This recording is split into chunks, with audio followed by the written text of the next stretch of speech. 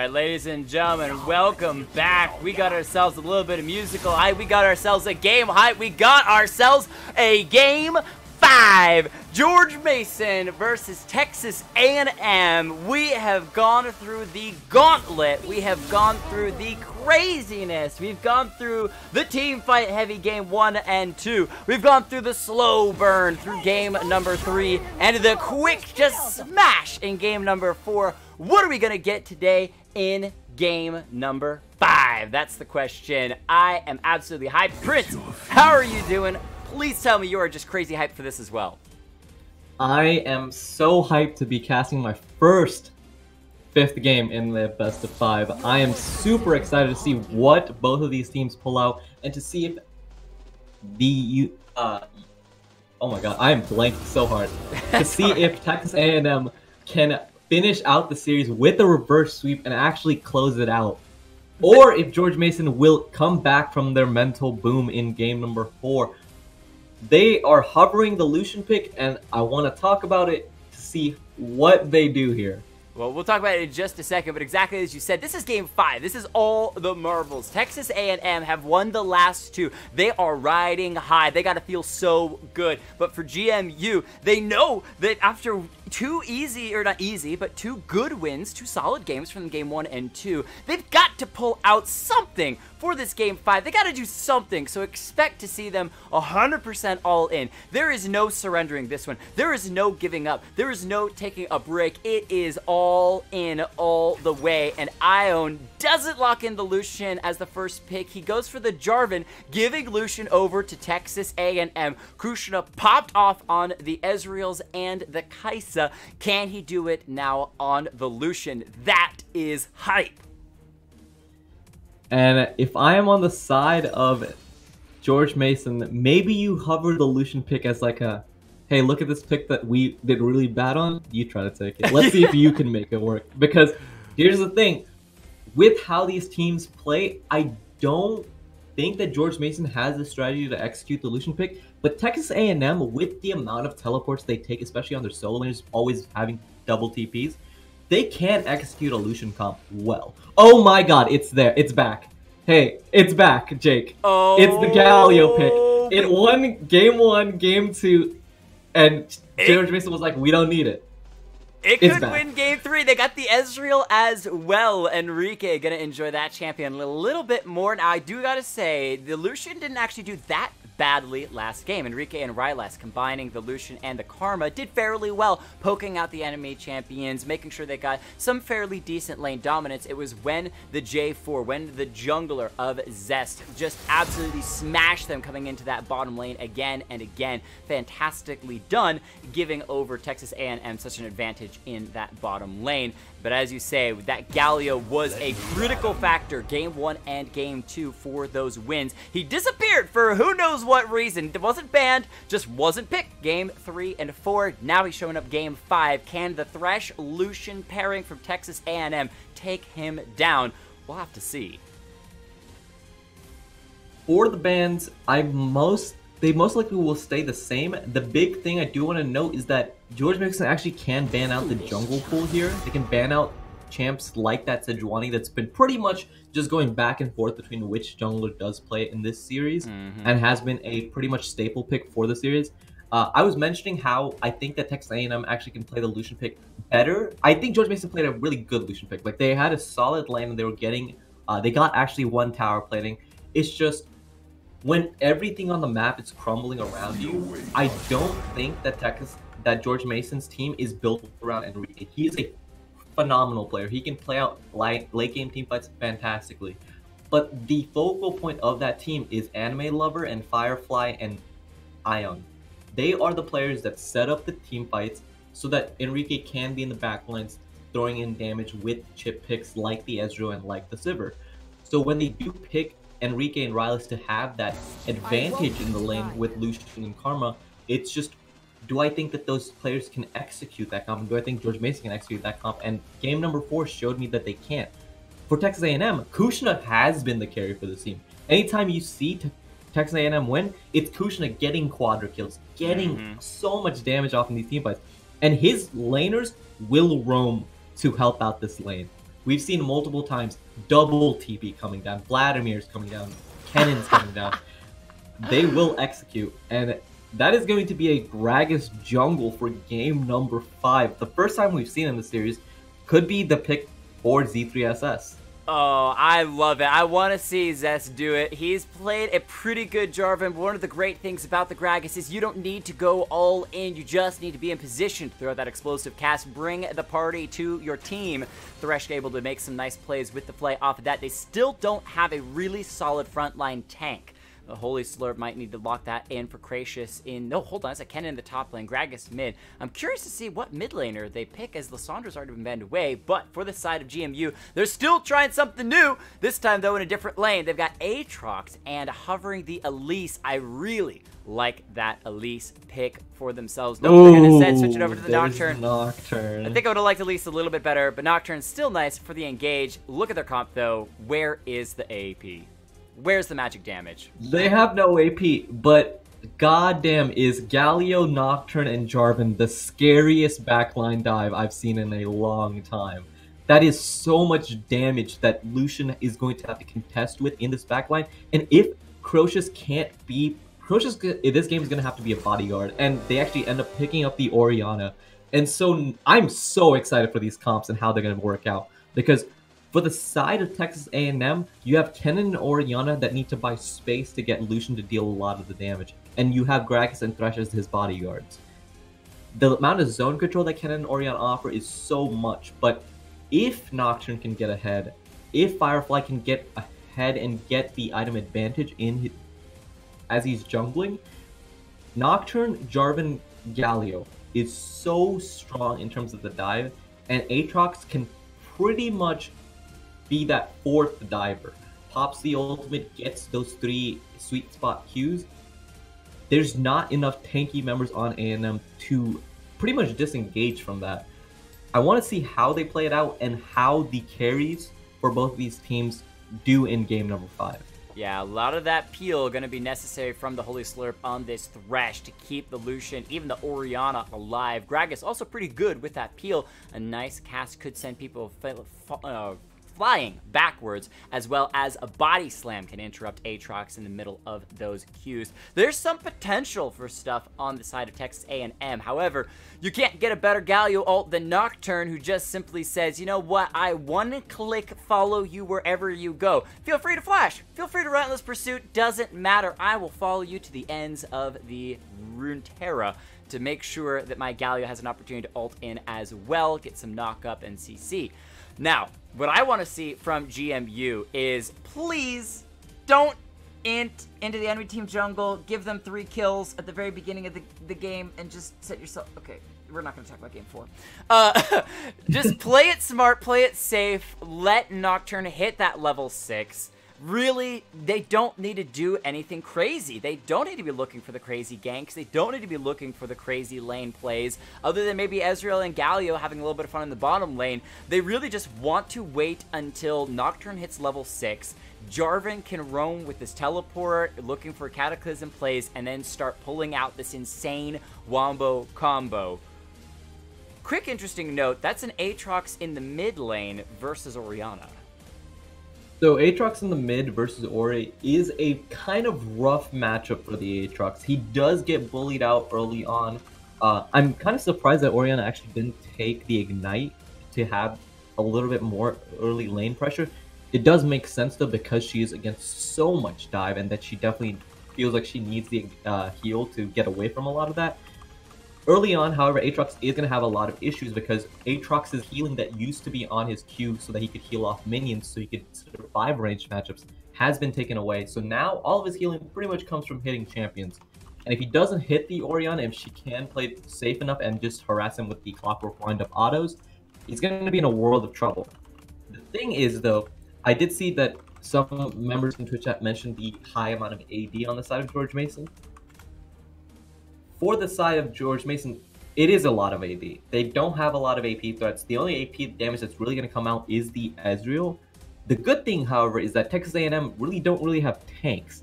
Gragas most of the times goes for that uh, for the AP itemization jungle, and then he goes for a little bit of off tank, but he's not really the big tank. there's not a lot of tanky members on the side of A&M, and the only armor items they should probably build will be the Zhonya's, so they are going to be decently squishy, and Lucian's going to have a lot of trouble dealing with the Nocturne Jarvan and Galio dive because he's such a small and low range AD carry. If he walks up too far, he can always get Galio W flash. He can always get engaged by Nocturne, and he just can't run far enough if Crecious and Mr. Black Panda aren't peeling for him. All right, well, ladies and gentlemen, the locks are in. The choices are made. There is no turning back now. I am just absolutely going nuts over here, excited to see what these two teams can bring. Mr. Black Panda on the Orianna showed up huge. I believe it was in game number two. Feels good for him on that champion. Was that game two or game three? It doesn't matter. He knows how to play this champion, and he's got synergy with that Dark Star Thresh as well. Look at that. Everything seems to be going in favor of Texas A&M at the moment. But can they make the plays to follow through. It is game five. GMU taking on Texas A&M. Two wins to two wins. This is basically a full reset. Ladies and gentlemen, welcome to the best of one for this Collegiate League of Legends playoffs game. These two teams have got to just put everything on the line. I mean, it really is. You got to play at your best, and you can't go crazy, right? We had some craziness happening in game three and game four. You can't go crazy. You can't go crazy. You got to play calm. You got to collect yourself. You got to say, you know what? We're just to breathe. And I think you're right, that even though the surrender was sad to see in game four, it kind of gave all the players a chance to say, you know what? That was just, that was a practice game. That was a warm-up game. Now we're to play for reals.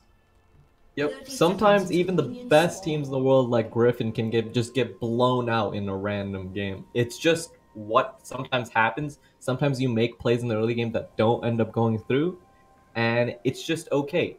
They just need to have a mental reset on both teams. And for the side A&M, they can't get too overexcited in the first two games, they were overeager. There were times where, again, you would see them just tower dive when they didn't need to. They would have advantage in team fights and then just throw away, playing a little bit too over aggressive. And now that they're actually on the winning side, that they have all of the momentum, they need to realize someone on that team needs to be saying, guys, we've won the last two games. We just need one more. Everyone just calm down, play it smart, play it safe. We got this. Someone needs to be communicating that. And I think that they definitely could. We're not seeing any of those crazy inting into the enemy team's jungle. Both sides playing safe. Now, Gragas is starting on his red side. Maybe he felt a little confident from last game being on that side of the map. So he's going to go ahead and take his red as Nocturne is going to start his blue. So junglers could make some things spicy if they both decide to come to the bottom lane around the same time. Keep our eye on these junglers, especially that Nocturne, wanting to hit that level 6, make some plays. Gragas, level 2, can flash body slam make some plays happen. I'm really curious to see how this Orianna, range champion into the Aatrox, does pretty good. But I forgot to mention this, if you're in the chat right now, first of all, welcome to XLNC Shoutcasting. If you're supporting one of these teams, please hashtag them. Let us know who you're supporting, who you want to win this game, because one of these teams is going to come out the winner at the end of it all. You only can have one, and one of these teams will walk away the victor of these playoff games. And it is really fun whenever games just boil down to that best of one. It's all or nothing, and I'm really happy that we ended up going to a best of five to the fifth game because game if it had been a 3-0 stomp, it wouldn't have shown how close these games were. Game number one, game number two, and game number three were so close for both teams, and they played so back and forth. Game number four was the anomaly in the series where it was pretty much just a blast. But all of those first games, it was so close by all of these teams they played so goddamn well. Chans are going to land pull around it back for just a little bit of damage, but the poking has commenced, and so far GMU's mid and top lane doing pretty well, shoving the Orianna and Kennen back a bit. However, CS not that far, except for the Kennen in the top lane. Look at that, 6 CS to 18. Crecious struggling this game. He's got a wave to catch up a little bit, but man, he is starting to lose out pretty hefty amount. Gragas may need to pay a little attention up here on that top side. And I really like how Eon plays this Jarvan into Kennen matchup the second time he's playing it this series. He always takes this Summon Aery rune, and uh, it actually allows him to get a lot of poke off, and we never see him fall behind from CS. He always stays ahead, or even, and he's he is the rock for this team on the side of George Mason. He always stays even. He always makes sure that he's doing what needs to be, and he's always a carry threat for the side of uh, George Mason. He may not decimate during the laning phase, but you can trust that he's not going to completely lose his lane. And you can see he even went the Doran's Ring as well to make sure that he's getting those Demacian standards down to just poke, poke, poke away on Kennen, which as a melee champion, Jarvan doesn't have many options. However, that sentence will land onto the Ezreal. Thresh finds it. He's hooked in. A nice play as well. Galio finds the taunt onto the Lucian. Where's he going? He's going to have to take the death or the Dark Passage to get out of danger. Again, I feel like I'm behind you, so I'm going to speed up. there we go. Should be onward. pretty well now. And thank you, Experiment66, with the single host. And we're into the pause. It's actually not possible to get through one of these games without a pause maybe, maybe, maybe they just wanted us to do a little bit more analysis. They said, you know what, you've only talked for about five minutes straight of these Ooh, this game. quick pause. Okay, they felt bad for us. They they weren't gonna make us do too much. We're back in. Whew. Whew, you gotta have the quick little uh pause right at the start of the game. They have to get it in. They didn't get it in right at the start, so they had to get it in ah, somewhere. Oh, you're right. You're right. Like, three out of the four previous games, the very beginning of the game was paused. So most of you guys didn't get to see much or any of it because of the animations that we have here. But they said, you know what? You know what? We're going to go ahead and start a little bit of some pauses this game because we didn't get in at the beginning. And it looks and appears, according to the chat, like the support for GMU has DC'd so Galio may be struggling just a little bit, and they'll go ahead and wait it out until he comes back. Get your pizza, get your water, or most likely soda, Mountain Dew preferably, and be ready because this game could explode at any minute once we get unpaused. One thing I want to talk about in terms of just as we have this pause, just talk about some of the small, minute details in some of these lanes. Uh, Orianna taking the corrupting pot start instead of maybe something like the Doran's Ring or even sometimes playing aggressive enough the Dark Seal. I kind of don't agree with starting out with the corrupting pot, it is good in matchups where you think that you're going to get poked out and actually are losing. But when you have the range versus melee pressure, especially against champs like Aatrox who can't really heal from a wave anymore, not Oh, what a good hook. Oh, even through the arcane shift, they're still to fight him. The double taunt for the Galio. Hold on, Kshuna forced to use the heal, has to escape, and now Rylast's to be in trouble. A couple more auto attacks. Gets first blood over to Kshuna. Doing a fantastic job, but now Anime Lover says, you know what, we got party in the bottom lane. Let's party in the mid lane. Drops the Orianna down to about half. She's also fairly low on mana, so keep your eyes there as Kratos is just losing all of his health at the top lane. Yeah, Ooh, Aatrox still gonna go in. Chains being used and forces the flash out of the Orianna. Go ahead. I was gonna say, uh, weird choice in terms of summoners by uh, Enrique and Rylast. They always take the exhaust, and it makes sense, especially as the game does go on, because getting the exhaust off onto a Kennen that is slicing Maelstrom through your backline cuts a lot of his damage down, and it is very good for the team fighting. But if you are taking the exhaust, in terms of laning prowess, you pretty much forego any sort of 2v2 advantage, especially if you're playing against something like a Lucian Thresh so in that situation, I don't like that uh, Rylast and Enrique tried to actually re-engage and try to get the kill. Unless uh, Kshuna pretty much just runs in, you don't win the 2v2. Because you're always... Oh, no. Engage though from the Gragas finds the body slam, the burst of damage, Enrique goes down! And that's gonna be a second kill over to the Lucian. Now Rylast forced to flash away from the death sentence to the Thresh. But that is still two kills onto the Lucian. Texas A&M Something happened in game three. I don't know what it was. It was just the sheer fact that they won and everything has just come online. They were smurfing for game one and two, having a little bit of fun, and they are truly just showing up in game five of this series. It feels like Texas A&M just figured out who the carry of their team is. It's not Kirk Coaches. Mr. Black Panda can be the carry, but he's kind of like the secondary. It's Kshuna. He is always the guy that's outthink so much damage in team fights. He's always the guy when you give him a lead, he can carry it out and win the game for your team.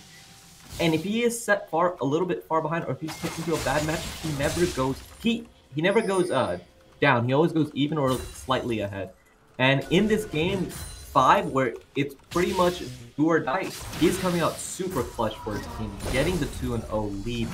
And it just feels like Enrique and Ry Rylast is just playing too aggressive they need to realize that they're not the focal points of this team. That they picked an Ezreal Galio lane that They can go even and they can go a little bit ahead, but you shouldn't be ever trying to go over aggressive, and they're getting punished. Now, do note that Nocturne, level 6, out farming the Gragas because he's been paying attention to his lanes on the bottom side. They are going to meet each other, maybe, as Gragas starts his red buff, and currently Nocturne is on the Gragas' Krug, so go ahead and set the camera over there, because that's far more interesting than Ezra clearing a ward. So they're near each other, not meeting yet, but level 6 on that Nocturne means he could make a play. He's around the corner, waiting in the brush from the Kennen. He was pinged out, though. Okay, so they did actually see him. This ward from Kennen caught sight. Ion's going to now walk in. They know that ward was there. They know that they saw the Nocturne, so they have to back away. Definitely don't want to make a play top due to the slicing maelstrom, but a play mid definitely could work out, especially with Mr. Black Panda not having the flash up anymore. He might catch the Gragas in his own jungle here. Anime Lover gonna go in. Mr. Black Panda gonna be in trouble. Doesn't have flash. Has the heal. Let's see if it's used. Another play opportunity could have been that uh, Aatrox using his ultimate to tank up the turret if he went under it and Nocturne wanted to dive. However, Nocturne pulls off the play of Firefly. Not interested in doing that. Just steals away some Raptors. As back into his own jungle as the pressure continues to mount in the bottom lane. Kshuna taking a 20 CS lead over this Ezreal. Doing a fantastic job. He is so far ahead, and right now Ezreal's sitting on just the tier plus mana crystal. He has pretty much forgone any sort of uh, ability to actually lane, especially with Kshuna sitting on the those Cutlass double daggers. It is so soon. None will question us. They need to be careful of this slicing maelstrom. He does have that. Firefly trying to clear out the minions in the backside. Let's see what Kennen can do. There it is. Oh, nicely done. In the meantime, though, the Aatrox is going to gank in the mid lane, find the kill on the oh, no. However, he oh, the explosive cast from the Gragas a little bit too early doesn't send anime lovers backwards. And so now the Aatrox walks away. Tragedy strikes. GMU pick up two clean kills. And again, Eon is the clutch consistent player for their team. He plays so well, getting ahead in these range versus melee matchups, gets the tower dive pretty much solo. Firefly actually didn't even have to come in there, and Anime Lover 69 finally being put back on a character he's able to carry with something that can team fight well, can gets the solo kill onto Mr. Black Panda, who didn't have his flash up after burning it early on, getting caught by the chains. And again, this game devolves into a point where it's about whether the solo lanes on the side of George Mason can carry harder than the than Kshuna and the Holy Slurp on the side of Texas A&M. Well, I'm sure that we're gonna find an answer to that. About a 500 gold lead for GMU at the moment. Join sure, me welcome. And thank you. be and elevated. Anchor Adore, thank you for Daker. Uh, Anchor DLF, thank you for the follow. Appreciate that. Uh, sure, how are you doing tonight? We are casting some amazing Collegiate League of Legends game. This is the best of five. This game is for all the marbles. As we were talking about that Nocturne now 80 CS over this Gragas, 50 CS on him. So a pretty big lead. Hold on, we got a huge invade from the side of Texas A&M. Trying to take away this red, but Firefly sees them. He doesn't have his ultimate available. Galio coming in from the side. Red buff is stolen away. Gragas and Orianna walking out together. Thresh here as well to kind of ferry them to safety. Aatrox is looking like he wanted to close. We now see all four members of A&M collecting towards the bottom side. All right, they haven't got in just yet. I was wondering if they're going to try to four-man dive the turret or something, but knowing that the enemy members are around the corner, decided not to do so. They don't really get anything except the red buff seal, but again, any sort of pressure that you can put onto this Nocturne is really good. It's good to do. It's just something that you need to do, make sure that the Nocturne can't just keep free farming, can't keep scaling up, because when he does hit that level 11 point where he does have the rank 2 ultimate, that is pretty much the strongest point of a Nocturne. And he can do so much damage, and if he's able to turn this bot lane around, Texas A&M could be in a lot of trouble. Oh, Galio goes in. He's looking for the town. He flashes forward. He's on two members. Nocturne comes in, but it's only onto the Thresh at first. That means Lucian's going to get the full calling out. In the meantime, Firefly forces a flash. Goes, the Thresh goes, Golden Holy Slurp still gets knocked Oh. by the J4. Cataclysm's underneath the turret. Doesn't care. And will secure a third kill for GMU. Can turn on to the Mountain Drake if they so choose. And that's what happens. Again, Eon is oh, able Oh no, they're trying to collapse onto the Lucian. Hold on. Kshuna gonna be in trouble. The TP from the Kennen. Let's see if the Lucian will survive long enough. They've been taunted up. The Galio is doing massive work once again, but Crecious has been able to pop one to J4. That means the anime lover should go down, but not before he's able to get the Gragas to fall. In the meantime, the camera switches over to Mr. Black Panda, autoing slowly away on the mid lane turret. This is a bit of a difference. Calm here in the mid lane. Full action in the bottom lane. Mountain Drake secured by GMU and a complete team fight victory. They pick up the two for a. They pick up the two for two. Actually, it trades. However, they do pick up the Mountain Dragon early on. They are pretty much splitting almost the entire map here. No towers have gone down. Pretty much even in terms of uh, tower plating, except that top side where Eon has taken out three of the tower platings. And again, these team fights are so close. That fight ended up starting out with Firefly diving in with the Nocturnal. He ended up actually diving in onto the Holy Slurp. And with that Galio combo, we saw how strong it is to be able to dive that backline, get so much damage off. With the teleport from Eon, he was able to... Ooh, he might kill him. Oh, gracious. Yeah, just Hextech no. Proto out. Go ahead. Continue where you were with the dive in the bottom lane. They were able to get the dive off because Eon was able to have, he had shoved Crecious into the tower and was able to make the teleport without having any sort of fear of it being cancelled.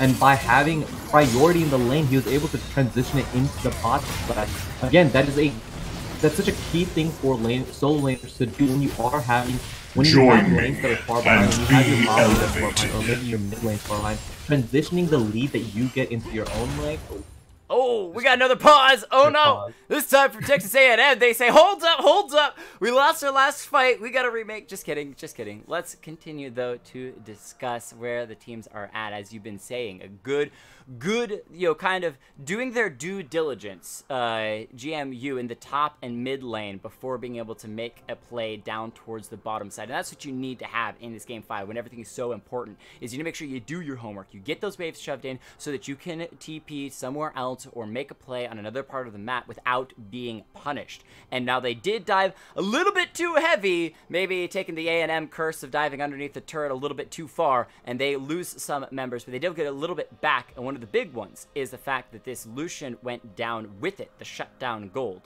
as well, to the side of GMU, which is now leading in gold by about that 700 mark. They were able to pick up the Lucian kill, and the big thing to know is how strong Firefly is at this moment. 106 CS to 63, sitting at a 43 CS lead over the Gragas, and he is farmed up he picked up that Mountain Dragon solo, so he was able to get the that 150 gold. And he does have that Nocturne ulti up, and he might look for this top lane dive with uh, Eon being able to shove that top lane wave. And he he's probably just going to force the Kennen to back off, and they should be able to pick up that top lane outer tower. Yeah, because Crecious doesn't have TP, he doesn't have Slicing Maelstrom, he doesn't have anything to actually use, so top lane turret, first lane turret, gonna go over to GMU. Nicely timed, look at that, exactly at that 14 minute mark when the turret plates fell. So they got full gold from all those plates and the turret on top of it. So now three members of Texas A&M gonna try to shove down the spot lane turret and secure for themselves. It should be a trade of turrets as Galio and Ezreal have backed away, but still, gold slight advantage for GMU. Is what I like to see, the push and pull of the lanes. When you had when you see the enemy jungler on the top side, you try to make a play around the bot. And good play by Enrique and Rylast not to get caught out not to overstay here. He might get caught here as on the Orianna. Orianna having fun away at the moment. Nice chain straight into the sweet spot. And he finds the Orianna finds the shockwave to pull anime lover back. And that's going to give him just enough time for the Thresh and Gragas to show up as well. Cause Aatrox to rethink his life. Back away. But Rift Herald spawned at the mid lane because they know that Orianna can't fight for it. So that Shelly should at least knock down this tier 1 turret in the mid lane. Secure that for the side of the GM you as they are wanting to just take everything this game. Two turrets up. Shelly probably going to be stopped before she even gets that charge onto the second tier turret.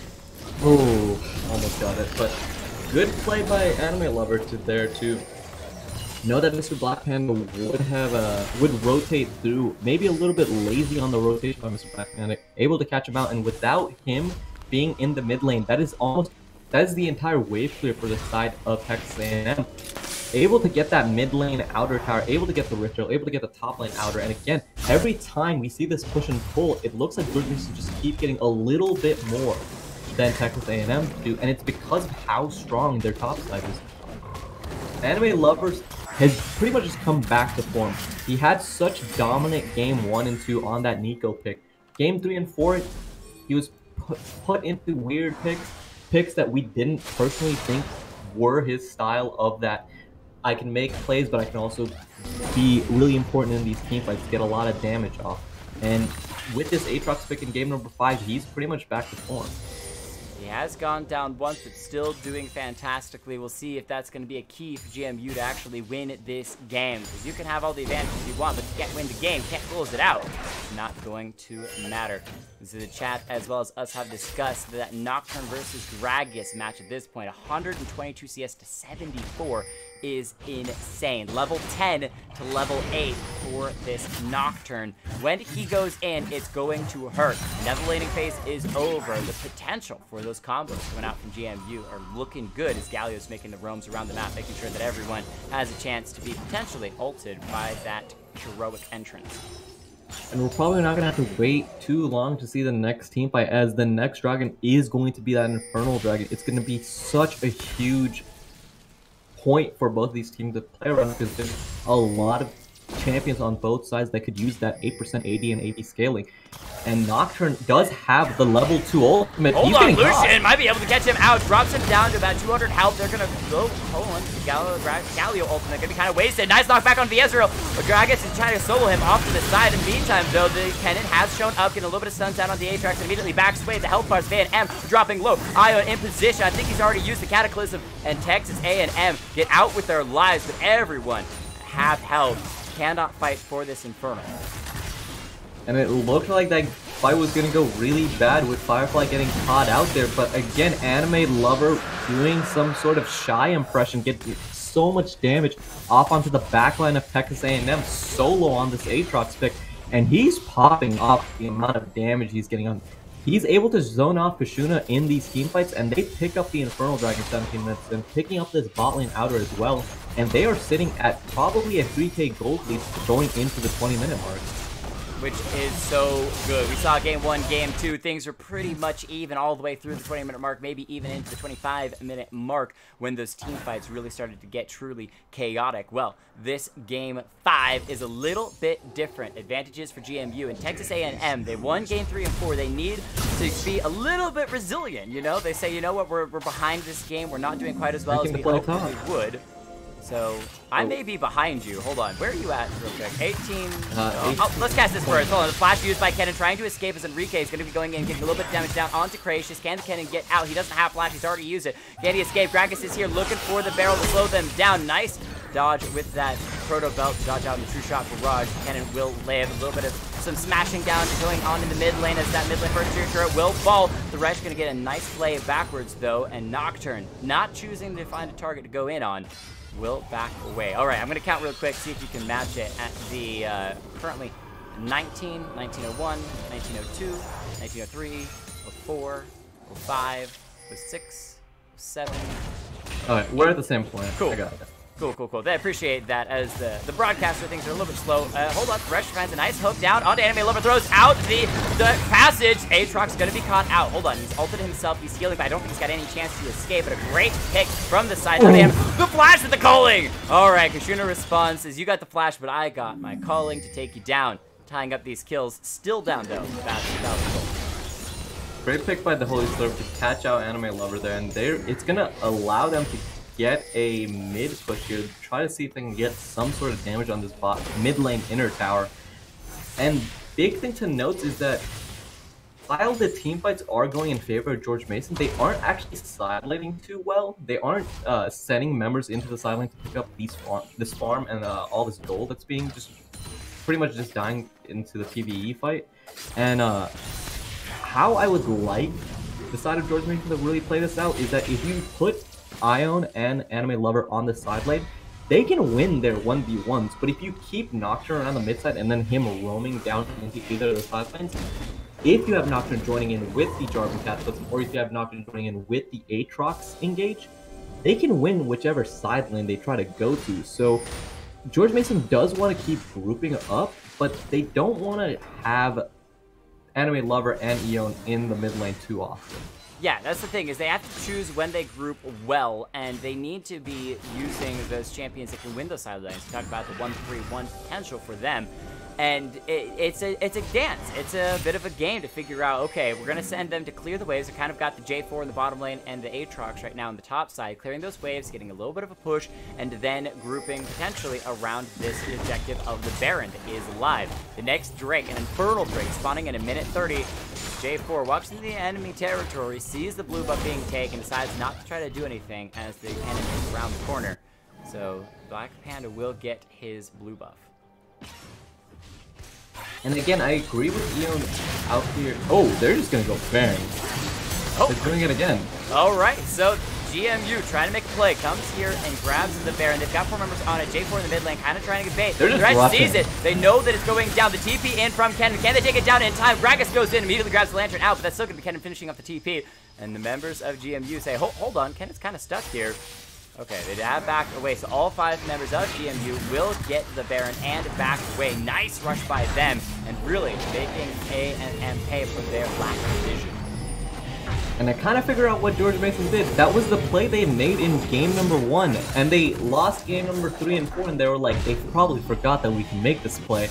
They do the 20 minute Baron rush, and now they're sitting at a sizable 3k gold lead going into this Infernal Dragon fight. A second Infernal Dragon for this team is so strong, and I want to see the engage happen because we have Rylast on the Galio. He has his W taunt flash up. So they can make engages into these team fights. And Anime Lover and Neon are so strong sitting at two items at the moment, with Ezreal hitting that Muramana spike.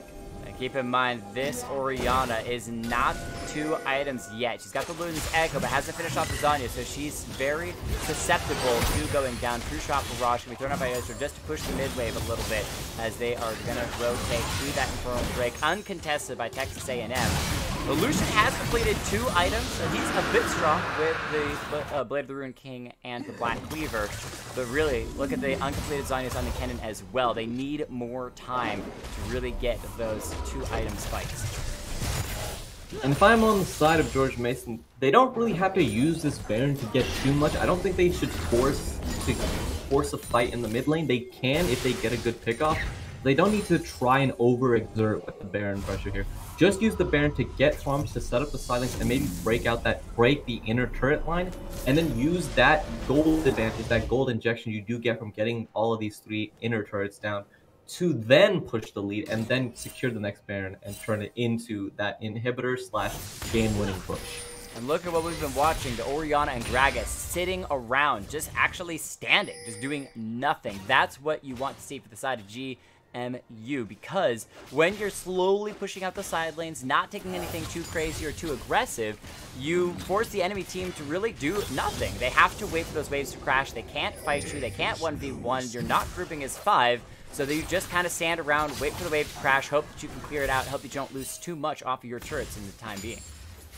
And look at this one one three one. They're just pushing in the waves. They have the Baron buff to pressure the towers just a little bit.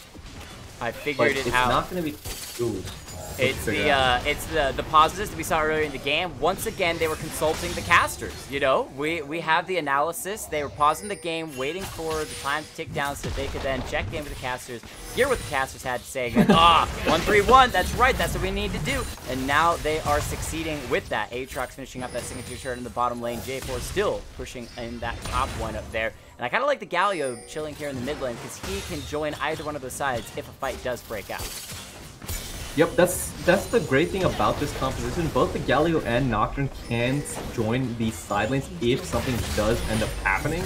And so they they're able to break this mid town, uh, they're able to break this bottom town. They should be able to get this top, and they just get such a massive injection of gold. Now sitting at a 5k gold lead on the side of George Mason, and I think that's good enough. You got three towers with this Baron buff. Just make sure that you get proper vision. You have a, you're sitting on a lot of gold. Go back, spend the money, get more vision control around the Baron, and the next Baron is going to be the one that you really use to break this inhibitor turret one.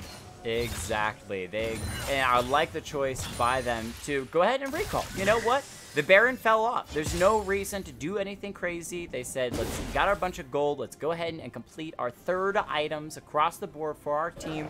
The Galio's got the redemption as well. The GA completed by the Nocturne. They're playing it slow and steady. Now, scaling-wise, I still think there's some slight advantage for Texas A&M when it comes to the Orianna and Lucian specifically, because their late game is pretty darn nasty. However, it's really, uh, in those particular plays, oh, as the red buff resets, uh, it's really about finding the right fight for them to use the damage, because they're so squishy that if one person bursts them down, the Aatrox or the Nocturne, you can have all the damage in the world. If you're dead, you can't use them.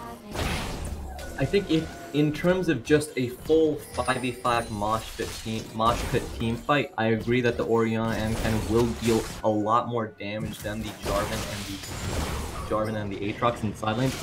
The problem is that the big issue comes in with how does Kshuna deal damage in team fights with him picking the Lucian, he's such a short-range AD carry that he really can't walk up to any of these members. Anime Lover, if he's in range of the Anime Lover, will pretty much just flash onto him, and Lucian isn't able to get any damage off in these fights. In terms of Orianna, she definitely can do a lot of zone control with her uh, with her uh, Orianna ball. The problem being is that in the 131, which is how George Mason should close this game out, there's just not enough engage to make that 5v5 happen, and George Mason shouldn't even let them make the 5v5 happen. Going to come down to positioning and timing, as always, with these teams, as you're getting a little bit of vision on the Baron, making sure that when it comes up in 20 seconds, they are ready for it. They're able to secure the first one very quickly. Let's see if A&M are on top of this one. They know the Aatrox is clearing up that vision, so they know that at least a couple members of GMU are around the corner. They're looking for it. They have wards. Oh, there's Go. Hold on, Galio gonna go in, Nocturne gonna follow as well. They're getting the fear onto the Orianna. Galio ultimate coming in. GA has been popped on Nocturne already. Illusion damage is insane. Z3SS gonna flash away as well. The Jay's been popped. Keep that in mind. The threat finding the CC onto the Ezreal. And Crecious is into the back line. Uh, with the flash from the Ezreal gets alive for the moment, but the Anime Lover is staying busy. The Galio has fallen, and A and M are winning the fight. They've been picking up the Nocturne as well. They haven't lost a single member, and they can chase this all the way down the mid lane or turn on to Baron if they want. Enrique's got no help. He's going to have to back away. I Ion, the only member that's even close to fighting potential for GMU.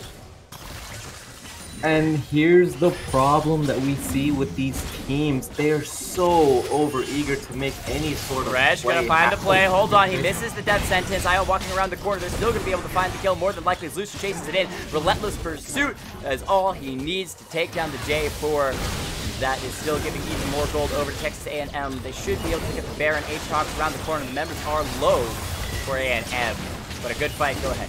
Ezreal ulti.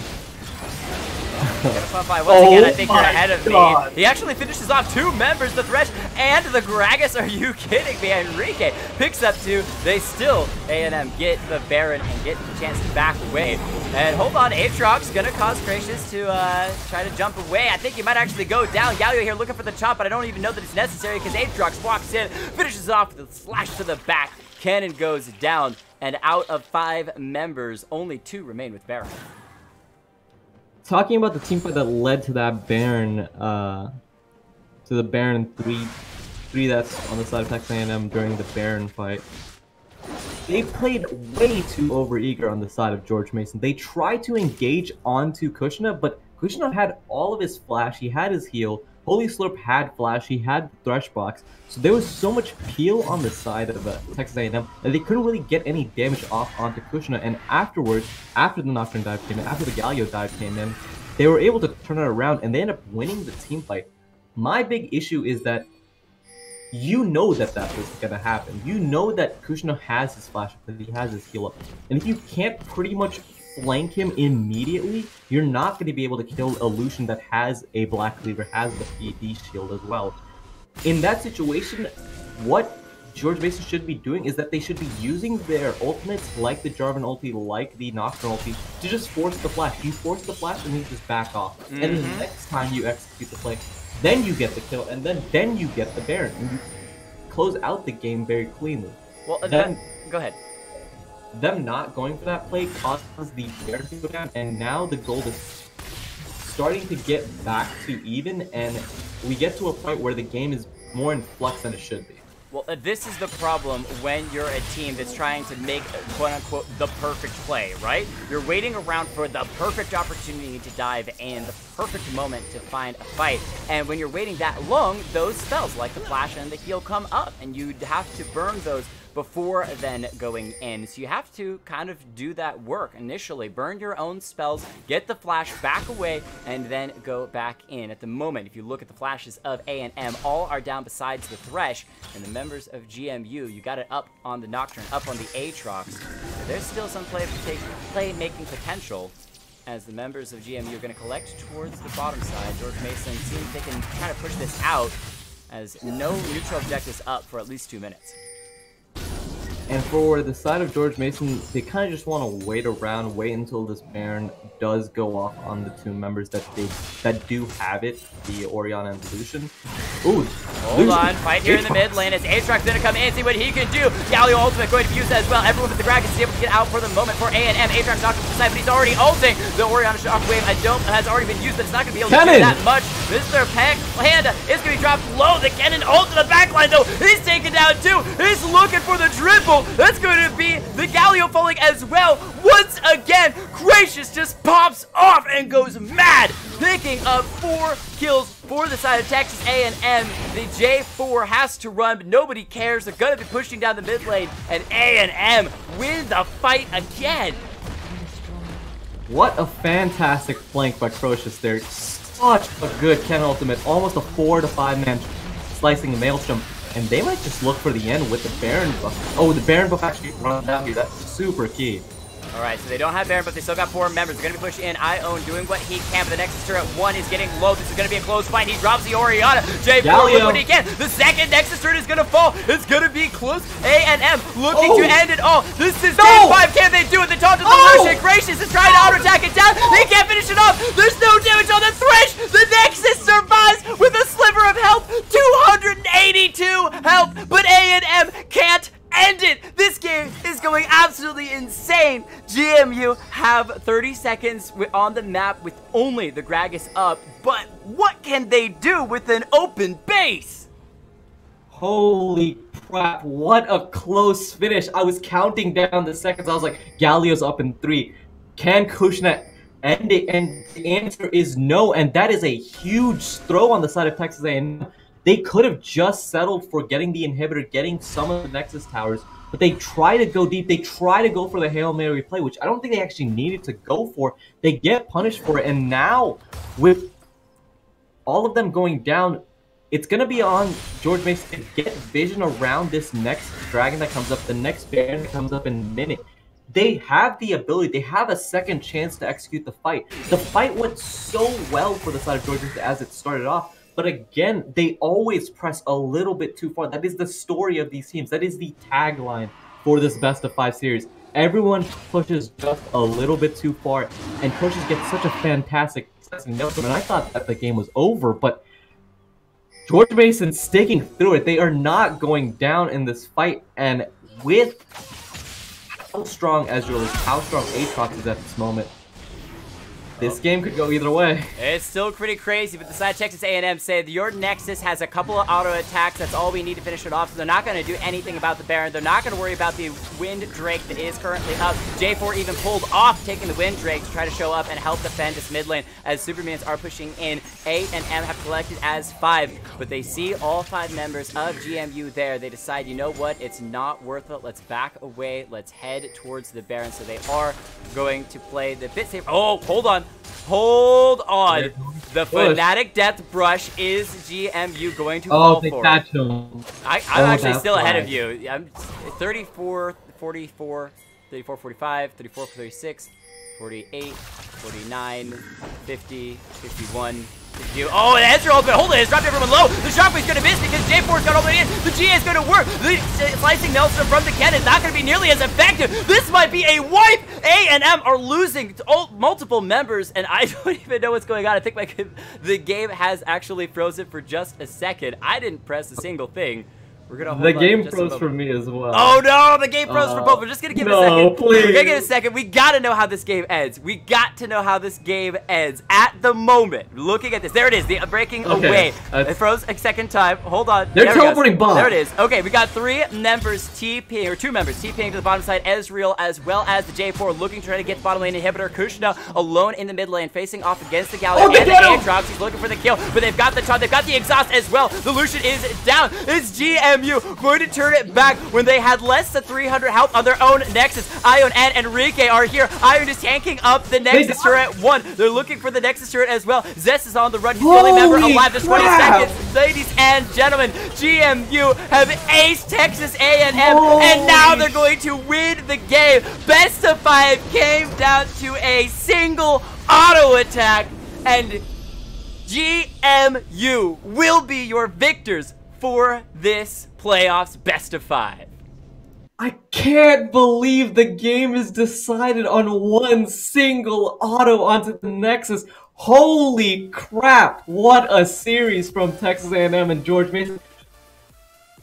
Wow, we I thought the reverse sweep was gonna happen. I thought Texas A&M had that, and we can break down that last push from Texas A&M so many times. There's so many Factors. it's like this. There's so many factors. It's that speech from uh, Avengers where he talks about there's so there's a million possibilities, and this is the game that we get. Mr. Black Panda actually had Flash up in that when he died to Ion's Jarvan. If he was able to flash and get one more auto onto the Nexus, if Kshuna had flashed and gotten one more auto onto the Nexus, the game ends Then- but they're not able to get it. They lose the Baron fight after a fantastic Enrique Ezreal. He actually wiped their team pretty much.